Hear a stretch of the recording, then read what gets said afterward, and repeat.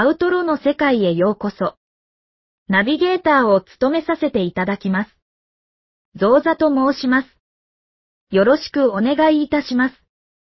本日も激アツ動画をお送りいたします。本日は3点ございます。一つ目は、駒野会長 VS 渋谷の若者です。駒野会長とちーチャンネルがコラボをしておりました。その際に、駒野会長が、これってちー散歩だよねとボケをかまします。けれども、ちーちゃんは無反応でした。駒野会長は、ちー散歩知ってるかと尋ね、知っていますと返答があります。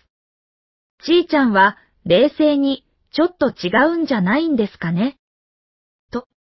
ボケ殺しの一撃が、駒野会長に入りますが、駒野会長の鉄壁のガードを打ち砕くことができず、駒野会長はノーダメージでした。この絶妙な感じが本当にたまりません。また、その一本後の動画にて、駒野会長が違反区域で喫煙をしている若者を注意する動画がありました。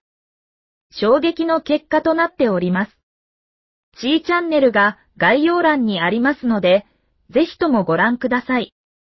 この結果を見て、元渋谷のドンこと、小山氏はどう思うのでしょうか？その感想も聞いてみたく思います。ぜひとも、テレパでの若者公開説教を見てみたいです。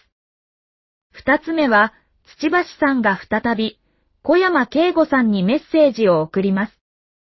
土橋さんの個性、優しさも滲み出るシーンもあり、素晴らしい動画となっております。ジョッキを置くごとに微妙に揺れる画面も見どころの一つです。三つ目は、小山慶吾さんについてです。昨日に魅惑のダンスについて触れましたが、なんと、翌日に足が腫れてしまいシップを貼っておりました。どうも、真剣にサーフィンのイメトレをやりすぎてしまったのが原因のようです。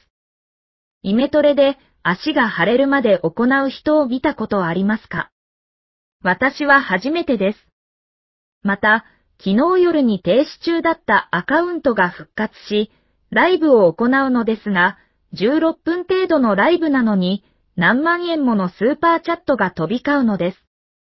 スーパーチャットキングの力を見せつけられた動画となっております。